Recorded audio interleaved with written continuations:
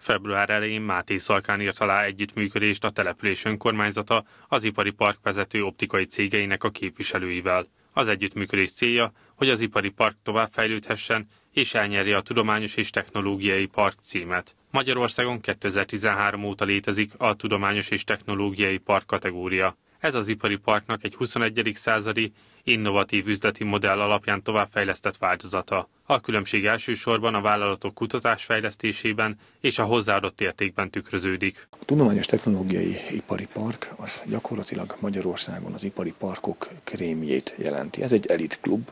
Jelen pillanatban információim szerint talán 11-12 van az országból, és nem is lesz túlságosan eh, sokkal több, azt hiszem talán 20 az a maximális nagyságrend, amivel a kormány a későbbiekben számolni szeretne, és kiemelt projektek eh, kerülnek megvalósításra a tervek szerint ezekben a ipari parkokban majd. Az ipari park területén működő vállalatok már nem csupán a gyártásra fordítanak kiemelt figyelmet, hanem a kutatásfejlesztésre is. Ez segíti a továbbiakban az a megállapodás, melyet a Tudományos és Ipari Park cím és a további fejlesztések érdekében most Máté Szajka város önkormányzata és a Nyíregyházi Egyetem kötött. A megállapodás értelmében az oktatási intézmény és a település vállalatai a jövőben közösen dolgoznak a kutatások meghatározásában, kidolgozásában és megvalósításában. Próbálunk lépést tartani a vállalatainkkal, és ez az együttműködés ennek ad lehetőséget, ennek ad keretet, és kvázi a kutatásfejlesztési bázisukat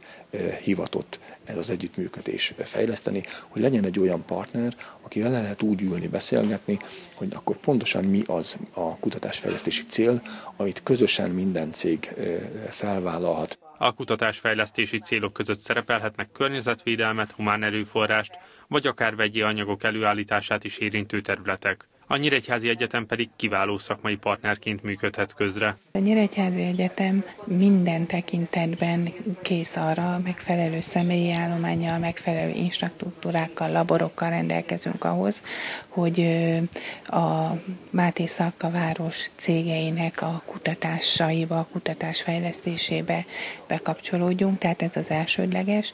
Egyébként pedig oktatás területén, képzés területén. Ez utóbbiban pedig akár egy kölcsönös kapcsolat is kialakulhat Vasné doktor Figula Erika szerint, aki úgy véli, az egyetem képzésébe oktatóként bekapcsolódhatnak a Máté Szalkai vállalatok szakemberei, a hallgatók pedig szakmai gyakorlatukat töltetik a cégeknél, amelyek utána akár elhelyezkedési lehetőséget is biztosíthatnak a végzett tanulók számára.